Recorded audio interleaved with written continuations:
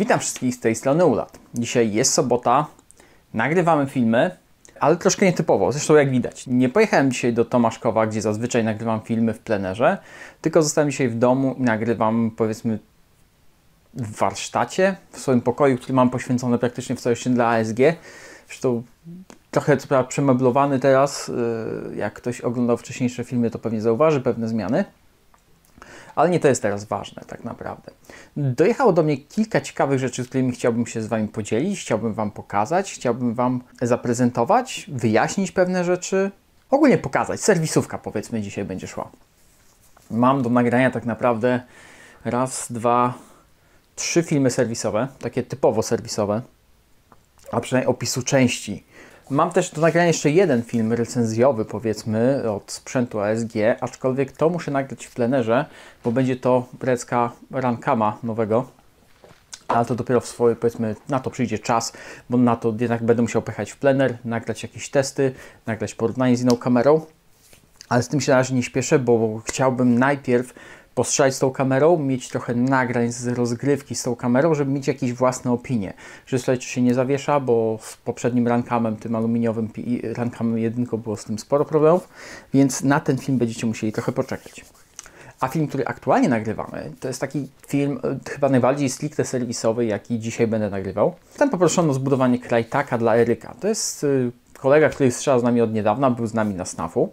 Postanowił, że chce takiego fajnego krajtaka ma już jednego krajtaka, ale jest on trochę długi i chciałby coś krótszego, więc uznał, że budujemy coś nowego i chce, żeby to było naprawdę fajne. Najbardziej zależy mu na dobrej reakcji na spust i mocy tam około 450 fps, bo to ma być jednak replika szturmowa. Padło na repliczkę, na krajtaczka oczywiście, to jak już mówiłem. I to jest, żeby Wam nie skłamać, LVOA S Warsport.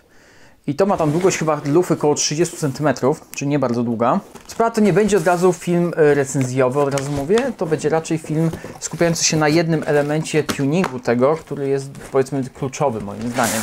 Czy pokażę też inne rzeczy, które w nim robię, ale nie będzie to taka typowa recenzja. No chodź tu. Chyba, że recenzje Krajtaka już były, więc e, nie wiem, czy jest sens się powielać. To jest takie cudo. To jest naprawdę krótkie, zwarte. Tak i będziemy w to wkładać trochę rzeczy. Nie dużo, ale jednak coś tam rzucimy. Tak, podstawowa rzecz, bardzo zależało Erykowi na dobrej reakcji na spust. Żeby to uzyskać, postanowiliśmy wstawić tutaj tytana. Z tym, że tytan w krajtaku to nie jest taka prosta rzecz, jakby się czasem mogło wydawać, że po prostu wkładamy i on tu siedzi i jest super. Nie, to wymaga dużo pracy wbrew pozorom, bo naprawdę powiedzmy nie przewidziano dla niego miejsca, tutaj w Gearboxie i trzeba się sporo napracować, żeby go tam upchnąć. I dlatego powstaje między innymi ten film, żeby Wam pokazać, jak wkładać tytana do krajtaków. Bo nie jest to takie hop proste, jakby się chciało czy oczekiwało. Dodatkowo jeszcze replika dostanie kilka takich drobniejszych zmian, bo wymienimy pneumatykę, gdyż Eryk uznał, że, chce, że chcemy też, żeby to było w miarę możliwości jak najbardziej niezawodne, więc wymienimy tłok na taki ze stalową szczęką, wymienimy głowicę, na aluminiowe. Wymienimy dysze, bo wszyscy mówią, że dysze w krajtakach są nieszczelne. I ostatecznie też wymienimy zespół lufy. Cały zespół lufy, bo pójdzie lufa promyka, komora od Retro Arms, do tego pójdzie AirHop i gumka flat od Modify. AirHop pójdzie od Elvish tak czy jakoś tak oni się nazywają. Tylko czekamy jeszcze na dostawę, więc tak naprawdę dzisiaj ja się będę zajmował mechaniką, bo ta replika spokojnie nawet na wymianie mechaniki, znaczy ona w stoku strzela świetnie moim zdaniem, więc tak naprawdę ja dzisiaj się zajmę mechaniką, bo jutro jest strzelanie i Eryk prawdopodobnie by chciał z nią pobiegać, przetestować, więc dzisiaj mi zależy na tym, żeby przygotować ją powiedzmy na jutrzejsze strzelanie bez wymiany pneumatej części precyzyjnej, czyli lufy, komory, gumki i tak dalej. To zostanie stokowe, a wymienimy dzisiaj po prostu to, co ja potrzebuję wymienić w bebechach. Nie mam też silnika. Na silnik czekam niestety, trochę mi się opóźnił, no ale nie mam na to za bardzo wpływu. Silnik, który tutaj wybraliśmy to jest Ultimate 30 tysięcy, no ale na to musimy poczekać. Na razie będziemy jechać na stokowym silniku i tyle tak naprawdę. Najważniejsze jest stawić dzisiaj Tytana, bo to jest yy, sporo roboty niestety i mam nadzieję, że dzisiaj się wyrobię. Mamy 11.30. Powinienem zdążyć, ale mam też kilka innych robót na dzisiaj przewidzianych, więc nie jestem pewien, czy to, jak ja to wszystko ogarnę. No ale dobra, na razie się tym nie martwię, bierze, bierzemy się do roboty. Dobra, pozwoliłem sobie, powiedzmy, wyjąć już Gearbox od razu. Znaczy nie odpalając nagrywania, bo znam, że otwierałem te, te Gearboxy już na tyle często, że nie ma sensu nagrywać tego po raz kolejny. Wydaje że nie jest to żadna filozofia, więc wydaje mi się, że to nie ma sensu. Niestety muszę usunąć wszystkie plomby gwarancyjne. Dobra, Gearbox mamy otwarty. Oczywiście klasycznie najpierw sprawdzamy w jakim to jest stanie. Sprawdziliśmy już podkładkowanie. Podkładkowanie jak to w Krajtaku jest super. Nie ma się po prostu do czego przyczepić. O, strasznie ciasno wchodzi tłok, ale dlatego ja w Krajtaka bardzo często to powiedzmy poprawiam, bo zmieniam smar po prostu na trochę rzadszy na cylindrze, w cylindrze i to powiedzmy powoduje, że ten tłok chodzi luźniej, bo no jest opór. Moim zdaniem nie powinno go być, tak? Ale powiem tak. To jest oryginalna dysza, jest idealnie szczelnie. Na wysuniętej dyszy.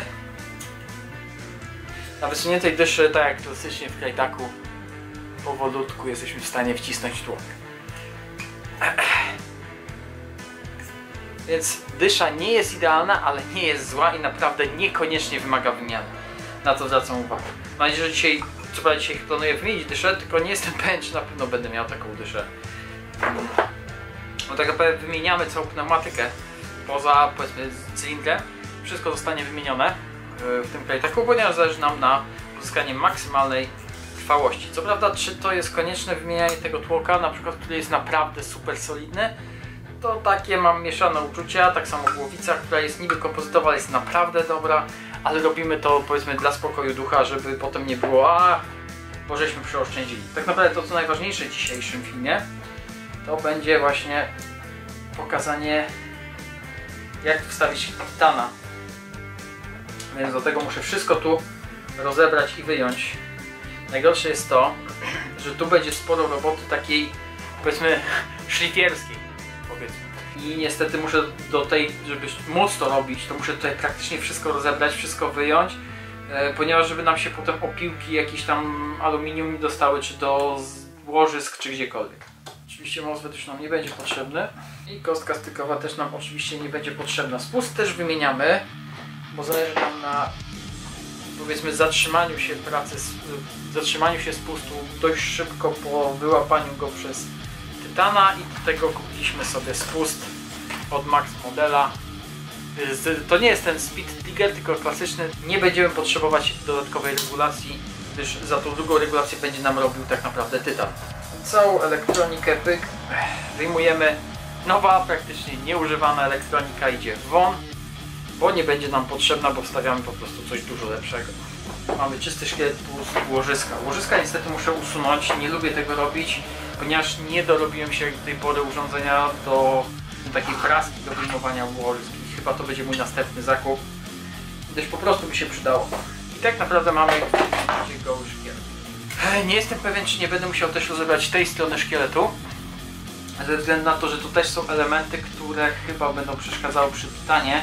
E, o ile się nie mylę, ten element będzie przeszkadzał i go też trzeba będzie usunąć, więc jeszcze czeka mnie tutaj demontaż, ale to zaraz zobaczymy jak wyjmę tytana z pudełka i przyłożymy wszystko tutaj.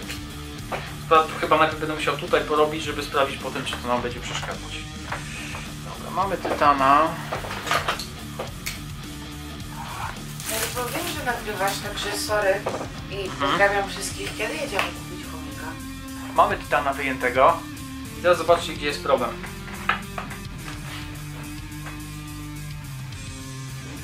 Przykładam tutaj no, tytana. Tak, tutaj narożnik wchodzi, tutaj na dole się mieści. Tu też niby nad ten zaczep wszystko niby jest ok. Tutaj też jest yy, takie podwyższenie, to wszystko niby pasuje, ale tu na dole przeszkadzają o te elementy, które odpowiadają za prowadzenie kabli tutaj na dół. I niestety trzeba je usunąć. O ten cały element. To trzeba po prostu tutaj spiłować, usunąć. Niby nie wydaje się to duża robota, ale powiedzmy sobie szczerze, ten szkielet jest naprawdę solidnie wykonany i stawia powiedzmy zaciekły opór takim pracom. To jest niby też jakiś tam stop aluminium, to nie jest jakaś stal czy cokolwiek, więc teoretycznie nie powinno być to takim wielkim ale jednak jest i naprawdę ja robiłem to do tej pory raz i to była masakra. Ja to spędziłem na tym kupę czasu, żeby to zrobić dobrze, żeby powiedzmy nie mieć z tym potem problemu. No i niestety, no bierzemy Dremel i do roboty. Nie będę nagrywał chyba szlifowania, bo to bez sensu. Nagram wam potem efekt końcowy, jak już skończę. Dobra, jak widać mamy trochę bałaganu, ale nie ukrywam, że to nie jest taka fajna i przyjemna robota, jakby się chciało przy replikach. Do tego największy problem to mm, nie jest powiedzmy samo to usuwanie tych elementów, tylko ilość ciepła i pyłu, który się przy tym tworzy. Żeby to ogarnąć i tak dalej, wyczyścić, yy, żeby to, to żeby nie zasypić reszty elementów, naprawdę się namęczyłem, żeby to ładnie oczyścić, tak? I jeszcze widzę, że jeszcze chyba na tym trochę spędzę, bo jeszcze są miejsca, gdzie jakiś syf mi się zebrał. Są, teraz to jest moment, w którym żałuję, że nie kupiłem sobie tej kurczę myjki ultradźwiękowej, no ale powiedzmy, że to będzie mój następny zakup, jeżeli chodzi o rzeczy do serwisu. Tak czy inaczej. Tak wygląda po usunięciu tutaj tych elementów Gearbox. Trochę mi się tu omsknęła, omsknął dremelek e, i uszkodziłem tutaj troszkę powierzchni. Co prawda to nie ma wpływu praktycznie na działanie Gearboxa, bo tak naprawdę na to, to na co trzeba uważać, że co, czego nie uszkodzić przy takiej robocie. Gniazda łożysk nie powinny być tknięte. Tutaj na szczęście byłem blisko, ale na szczęście nie dotknąłem samego gniazda, bo te łożyska muszą po prostu dobrze siedzieć. Jeżeli my je uszkodzimy, no to będzie lipa. Tak? I tak naprawdę to jest to, na co musimy uważać. Tyle. Nie obyło się też przepracy przy drugiej połówce gearboxa. Tak? Bo musiałem usunąć tutaj ten nadmiar. Tu był taki bolczyk, który przytrzymywał kostkę stykową. Musiałem to usunąć. Wszystkie te pozostałe elementy mogą zostać. Zastanawiam się, czy jeszcze tego nie będę musiał usunąć. Ale MOSFET w tym miejscu ma taką pianeczkę. I to się opiera tylko na pianeczce i ten element dociskowy nie przeszkadza, więc zostawiam go. Im mniej szlifowania szkieletu, tym lepiej. Więc powiedzmy, tą najgorszą robotę mam za sobą. Teraz muszę na nowo osadzić łożyska i zacząć to wszystko składać, włożyć MOSFET i rozpocząć powiedzmy jakieś pierwsze testy, pierwsze ustawienia. Dobra, MOSFET już jest na swoim miejscu, zaraz będę go przykręcał już na stałe. Wszystko ładnie siedzi tam, gdzie powinno, nic nie przeszkadza. Powinno być git. Jeszcze zobaczymy tylko, czy zębatka gdzieś nie ociera, nie ociera. Więc powinno być super. Taka jeszcze uwaga, bo niektórzy trochę, znaczy niektórzy narzekają na kable w tytanie, że są sztywnawe i upierdliwe przy układaniu. Owszem, układa się upierdliwie, tylko że jak już je włożysz, to już nigdzie nie latają. Ja je bardzo osobiście lubię te kable, mimo że są tak naprawdę sztywne. Przy montażu tytanu oczywiście nigdy, broń Boże, ale to nigdy nie zapomnijcie o plastikowej podkładce pomiędzy śrubkę a układ MOSFET, żeby nie zrobić dziś zwarcia nią, bo to, to byłoby tragiczne w skutkach panowie. Panie. Czy będziemy musieli tutaj nakleić płytkę, ale to zaraz będziemy się tym zajmować. Naklejeczkę tam trzeba będzie zrobić. A teraz jeszcze chciałbym sprawdzić jak ze spustem, czy wszystko pasuje, ale nie wiem gdzie go położyłem. O, tu jest. Siedzi idealnie. Nie obciera o kable. Nie powinno być tu żadnego problemu. I teraz tak, bardzo ważne przy montażu tytana jest to, żeby sprawdzić, czy wszystko jest ok. Trzy razy zanim powiedzmy wszystko poskładamy do kupy e, założymy sprężynkę Ten ma o tyle fajny, to czego mi brakuje powiedzmy sobie szczerze w układzie optycznym od Peruna do tego, że na tytanie mając powiedzmy te elementy takie czujniki te dodatkowe powiedzmy czy nawet tą taką karteczkę do testowania e, czy do programowania ogólnie MOSFETu jestem w stanie sprawdzić czujniki, czy wszystko działa jak powinno, czy selektor ognia działa jak powinien, czy spust działa jak powinien, czy wszystko jest wykrywane, czy wykrywana jest praca zębatki tłokowej. To, czego po prostu w Perunie nie da się zrobić i co mnie bardzo, bardzo niestety smuci. Bo to by dużo ułatwiło, jeżeli chodzi o ten proces powiedzmy montażowy w Perunie. No, skręcimy go tak na szybkości kilkoma śrubkami, bo na razie to tylko dla testów. Niestety przy Tytanie też tak samo jak przy Perunie optycznym, jeżeli wstawiamy go w krajtaku, to nie będziemy mieli boltkacza. Więc no niestety, no na to nic nie poradzę. On przechodzi w miejscu, gdzie jest, gdzie przez gearbox idzie taka ta dźwigienka o ten element, który odpowiada za działanie boltkacza. Spust nie obciera, łożysko, czy ten zobaczka nie obciera też. Więc teraz zobaczymy jak to wszystko będzie śmigać. Włożymy też na razie kłódkę selektora. Bo teoretycznie, jeżeli mamy tutaj tą blaszkę w płytce selektora, to odpowiada za łączenie styków, za powiedzmy elektry elektryczne przerwanie obwodu w momencie, kiedy replika jest zablokowana, teoretycznie ona powinna nam zastępować te naklejki, które naklejamy zazwyczaj na płytkę selektora. Zobaczymy, czy to będzie tutaj działać, a przynajmniej czy będzie to działać w sposób poprawny. Weź mi teraz patrzeć na ręce? Teraz twojego. Moment. Najpierw zaczniemy chyba od podłączenia sterownika do telefonu i to podłączamy. No, Zielona dioda, wszystko działa. Tytan dwójka. Next. I tylko jedyny problem jest to, że widzę, że ten spust, ten konkretny spust już zaznacza nam pierwszy i drugi tak naprawdę nawet, tak? Więc dopiero na trzecim punkcie mamy strzał możliwy do oddania. Czyli proces spustu to około 2 mm do pierwszego czujnika i tak zostawimy. Sprawdzamy czy wykrywa poprawnie zęby w zębatce. Wykrywa, przeskakuje jak kręcę zębatką, przeskakuje czujnik, widzicie? Dobra. I teraz jeszcze zostaną selektor, który będzie tak najmniejszy. Selektor.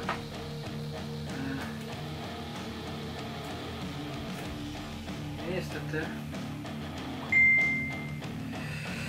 Jest trochę problem, mm, bo źle go wykrywa. Teraz mamy auto.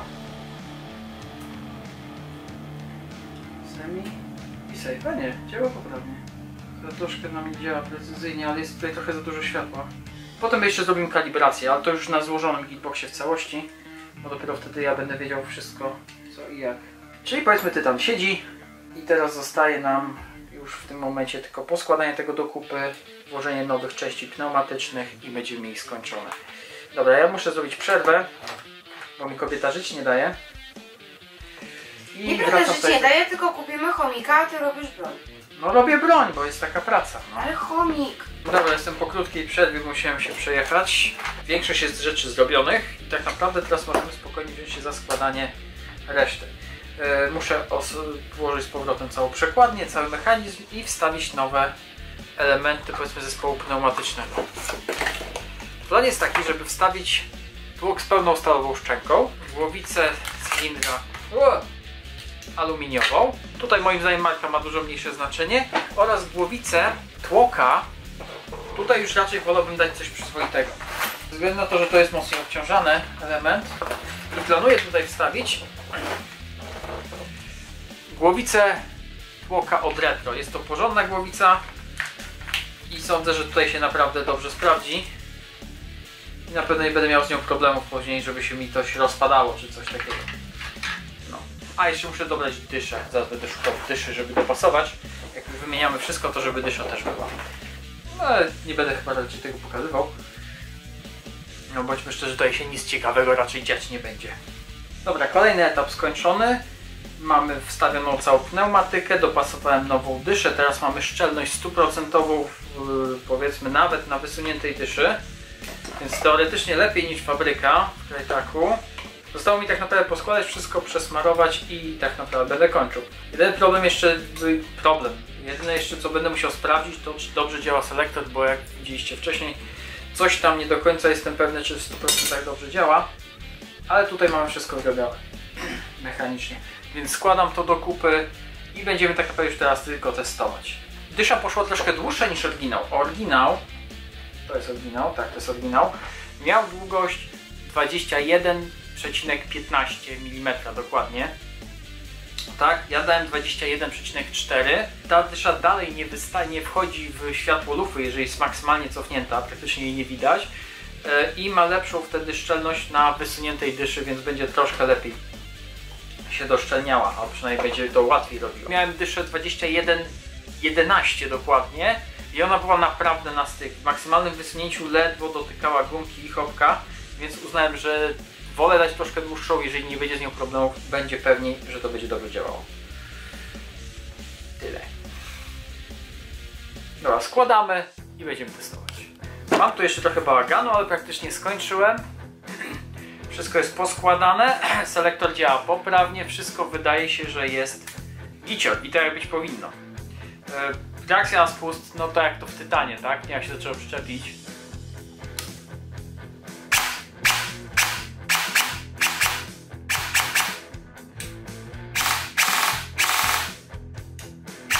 I to cały czas na stokowym silniku. Co ma bateria 11.1. Sprawdzimy jeszcze FPS-y, bo jeszcze możliwe, że będę musiał wymienić sprężynę. No ale to już niestety te drobne rzeczy, które trzeba jeszcze ogarnąć. Było z tym trochę walki, ale skończyłem i replika jest gotowa. Wstawiony jest tytan, bo to było tak naprawdę najważniejszym elementem składania tego, yy, tej repliczki. Wymieniłem też pneumatykę, tłok, cylinder, głowicę. Znaczy nie, cylinder został. Tłok, głowicę, dysza. I tak naprawdę tyle. No jeszcze spust doszedł, ale to w ramach powiedzmy dodatku do MOSFETu. Żeby ten ruch był możliwie krótki. Sądzę, że Eryk będzie zadowolony. Czekamy jeszcze na silnik. I czekamy na zespół lufy. Może pokażę jak składam wtedy jeszcze R-Hopa dla zainteresowanych, ale to już będzie na oddzielnym filmie, bo na dzisiaj skończyłem. Udało mi się uzyskać na stokowej sprężynie, bo sprężyny ostatecznie nie wymieniłem. Zostawiam stokową sprężynę i po moim smarowaniu, po moim składaniu tej pneumatyki mamy 430 fps. Wcześniej na stokowej pneumatyce było 415, jak testowałem. Więc 15 fps uzyskaliśmy, co prawda to może wynikać głównie raczej ze smarowania, całym tym, bo daliśmy dużo, ja dałem dużo luźniejsze smary i teraz na przykład sam sama głowica tłoka w cylindrze chodzi dużo płynniej, dużo, dużo gładziej, bo ta oryginalna wręcz się zacinała. Była chyba za bardzo dopasowana, może o-ring trzeba by zmienić. No, obstawiam, że ten element y, powiedzmy dał nam najwięcej, jeżeli chodzi o wzrost FPS. Mamy te 430 i na razie nie zwiększamy powiedzmy ich więcej, bo plan był na 450, tylko 20 FPS moim zdaniem wiele nie zmienia to raz. Nie wiem, czy jest sens szarpać na sprężynę jakoś, kombinować szukać sprężyny, żeby zyskać te dodatkowe 20 FPS. Tym bardziej, że jak wymienimy lufę, komorę, gumkę i tak dalej, to tutaj jeszcze możemy zyskać kilka FPS dodatkowych. Na powiedzmy lepszym doszczelnieniu i tak dalej. To zobaczymy jak to wyjdzie, bo to czasami wychodzi tak, że ta gumka jest troszkę innej konstrukcji i y, powiedzmy start kulki troszkę wyhamowuje i wtedy te FPS-y wcale nie wzrastają, a zostają takie same, czasami zostają mniejsze, no ale zobaczymy jak to faktycznie wyjdzie i wtedy ewentualnie będziemy się zastanawiać nad wymianą sprężyny. Tak czy inaczej, no repliczka na dzisiaj jest skończona. Tak, jutro idzie na pierwsze strzelanie, będzie testowana, zobaczymy jak sobie poradzi w terenie. Więc to tyle. Mam nadzieję, że się podobało. Tak? To był taki filmik, który w tym filmie no, głównie chciałem się skupić na tym montażu MOSFETu Tytana w Krajtaku, bo to jest taka dość upierdliwa rzecz i na to chciałem, to chciałem Wam pokazać, żebyście wiedzieli co i jak i powiedzmy dlaczego czasem ludzie chcą za to więcej pieniędzy niż po prostu przecież to tylko włóż i zapomnij. No właśnie nie. I to jest wbrew pozorom sporo roboty. Mi to zajęło, no sporo mi to zajęło, nie wiem, z 4 godziny, żeby to dobrze poskładać wszystko od początku do końca, może nawet dłużej. Nie nie patrzyłem na zegarek, powiem szczerze, tutaj zaczynałem, chyba że w międzyczasie jeszcze wyszedłem na chwilę z domu. Ale dzisiaj jest skończone. I mam nadzieję, że Eryk będzie zadowolony. Mam nadzieję, że Wam się podobało. Jakby były pytania, to oczywiście zapraszam do komentarzy, bo tam jest na to miejsce. A na dzień dzisiejszy dzięki za oglądanie i do zobaczenia ponownie.